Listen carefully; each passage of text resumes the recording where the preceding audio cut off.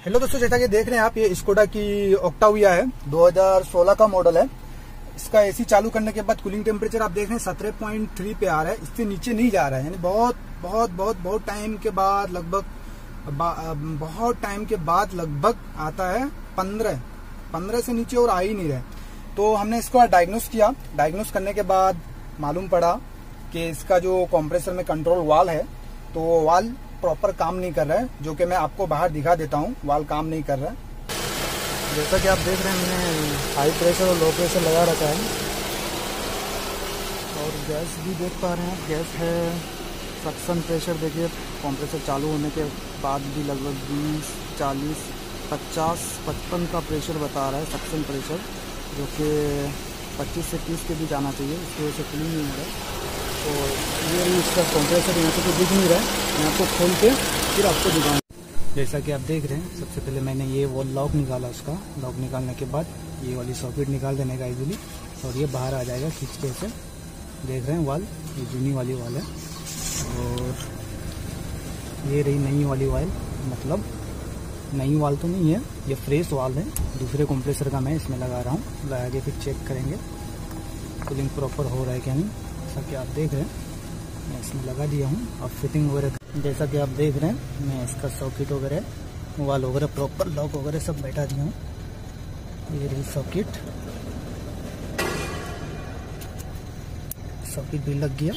अब हम इसमें गैस जैसा कि आप देख रहे हैं, मैंने इसको वैक्यूम पे लगाया हूँ। और वैक्यूम पे लगा देता हूँ पाँच मिनट के लिए। पाँच मिनट जैसा कि आप देख रहे हैं वैक्यूम कंप्लीट हो गया है। अब हम इसमें गैस मारेंगे। सारे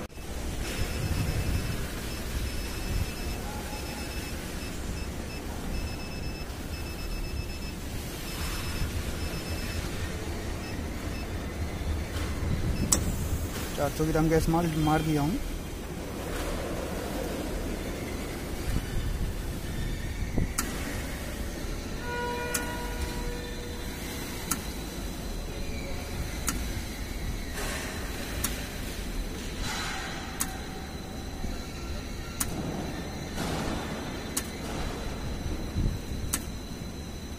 चलो फिर अब हम अंदर जाते हैं, गाड़ी चालू करते हैं, फिर एसी चालू करते हैं, फिर पंपिंग देखेंगे कितना बना रहा है। जैसा कि आप देख रहे हैं, मैं अंदर गाड़ी चालू किया हूँ, फिर एसी चालू किया हूँ। आप देख पा रहे हैं, मैं एसी चालू किया हूँ। कूलिंग टेम्परेचर बाद में देखेंगे, सबसे पहले कॉम्प्रेसर का पंपिंग देखते हैं पंपिंग बन रहा है क्या नहीं बन रहा है। बाहर चलते हैं, फिर देखने के लिए पंपिंग जैसा कि आप देख रहे हैं पंपिंग 25 से 30 के बीच में आ चुका है, यानी सिस्टम अभी प्रॉपर हो चुका है।